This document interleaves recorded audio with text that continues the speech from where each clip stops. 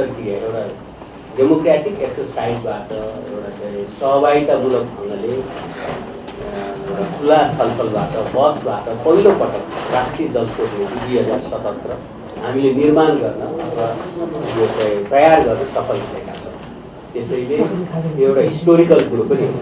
हामीसँग भएको प्राकृतिक सम्पदा कसरी प्रयोग सदुपयोग गर्न सक्छौँ कसरी यसलाई दिगो बनाउन सक्छौँ र भोलिका पुस्तालाई पनि पुस्तान्तरण कसरी गर्न सक्छौँ भन्ने एउटा महत्त्वपूर्ण दस्तावेज तयार भएको छ। एकातिर हामी नयाँ संविधान जारी पछि जलस्रोतको उपयोग को चाहिँ तिनै तहबाट गर्ने संवैधानिक व्यवस्था छ। त्यसो गर्दा तिनै तहबाटै संरक्षण पनि गर्नुपर्छ। नियमन पनि गर्नुपर्छ भन्ने कुरो नै यसको मुख्य सिद्धान्त हो भनौँ कि संवैधानिक हाम्रो चाहिँ व्यवस्था छ त्यो अनुसार नीतिले के निर्देश गरेको छ भने हामीले सदुपयोग उपयोग हामी गर्छौँ उपयोग गर्दा चाहिँ त्यसको संरक्षण पनि गर्नुपर्छ। र त्यसको नियमन पनि हुनुपर्छ।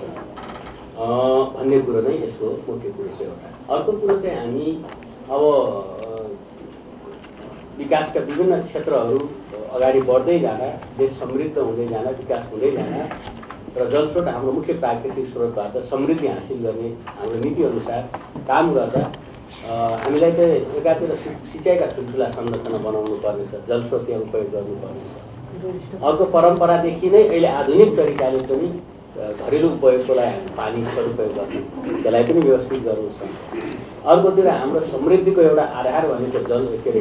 जलविद्युत हो। जलविद्युतलाई पनि चाहिँ हामी व्यवस्थित गर्नुपर्नेछ। एकातिर चाहिँ प्रोत्साहन गर्नुपर्नेछ अर्कोतिर यसलाई नियमन गर्नुपर्नेछ। अर्कोतिर हामीले चाहिँ पर्यटन पूर्वाधारको रूपमा पनि जलस्रोतलाई उपयोग गर्ने गरेका छौँ।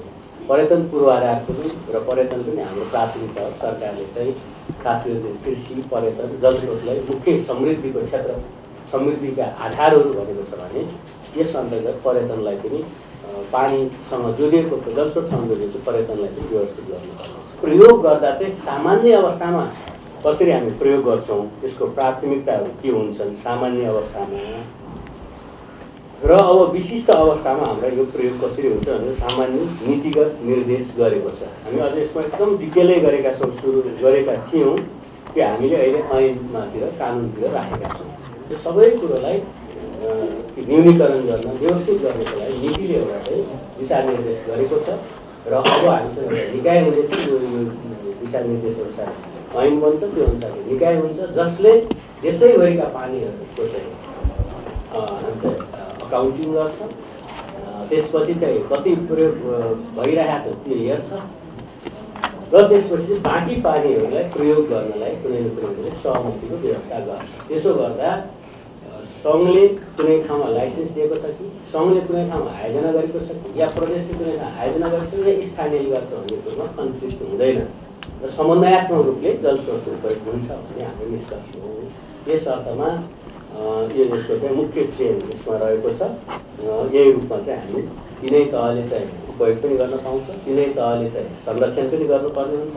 त्यसै गरी यसमा प्राइभेट सेक्टर अथवा समुदायहरू पनि उपयोग पनि गर्न पाउँछ संरक्षण गर्ने दायित्व पनि हुन्छ र अन्ततः हामीले त्यसलाई एउटा प्राकृतिक स्रोतलाई एउटा स- समन्वयिक ढङ्गले प्रयोग गर्ने दिगो रूपले दिगो उसको रूपमा चाहिँ संरक्षणसहित प्रयोग गर्ने र पुष्टान्तरण गर्ने जिम्मेवारीसहित प्रयोग गर्ने नै यसको मुख्य सबैको सबैभन्दा राम्रो। Ratopati dot com.